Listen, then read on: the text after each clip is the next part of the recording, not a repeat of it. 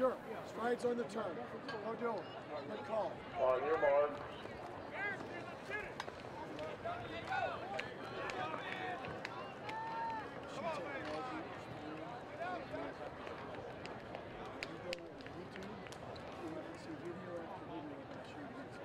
Are you in the eight? You don't want to do a stride?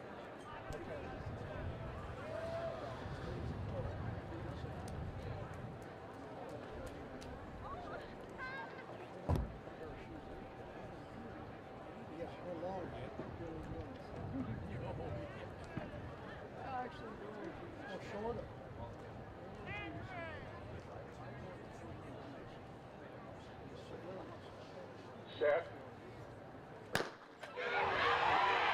Invitational boys in the middle of the track. That is Antwan Hughes Jr. But in three, that is Dominick Corley Mead.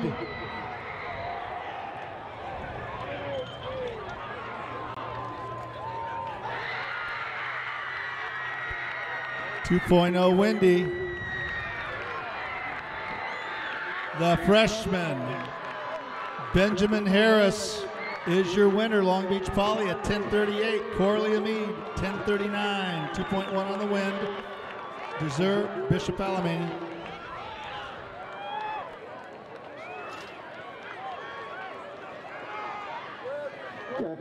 Attention to the center field, we'll have Kaylin Wright, winner of the girls invite 100 meters, 11.54, new personal record for her. She's a junior from Chaparral High School, also a new California State leader.